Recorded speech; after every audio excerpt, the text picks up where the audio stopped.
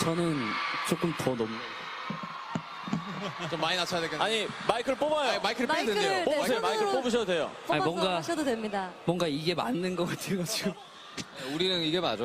네, 아, 어, 이제, 네, 여러분, 어, 어, 우리 리더 형이 또 너무 좋은 말 많이 해줬는데, 어, 중요한 건 그건 것 같아요. 어쨌, 어쨌든 저희가 여러분들에게 지금은 뭔가 뚜렷한 무엇을 보여드리고 있지는 않지만, 저희끼리 굉장히 소중하고 중요한 얘기들을 하고 있고, 또 여러분들이 주시는 마음들을 가볍게 생각하지 않고 항상 생각하고 있는 것 같아요. 그래서 항상 감사드리고, 오늘도 이렇게 예쁜 목소리 들려주러 오셔서 너무 감사합니다.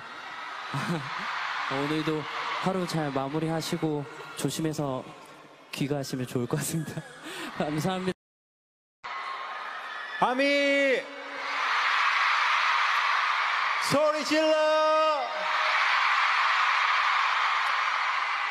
이거는 그 어떤 상보다 되게 특별한 상 같아요 왜냐하면 이제 아미 한 분 한 분께서 이렇게 소중한 투표를 해주셨기 때문에 저희가 이렇게 상을 받을 수 있지 않을까 싶습니다 정말 아미 감사드리고요 저희 정말 멋있는 이렇게 최다 득표상 가수 방탄소년단 되겠습니다.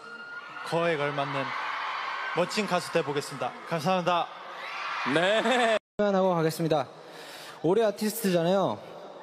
뭐 저희가 내년에도 이, 이런 멋진 상들을 받을 수 있을지 없을지는 잘 모르겠지만 요거 하나만 기억해 주시면 감사하겠습니다.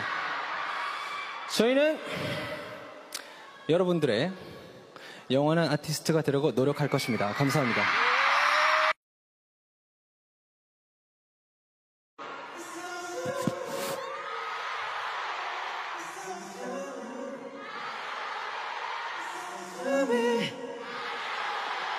I show you, show you.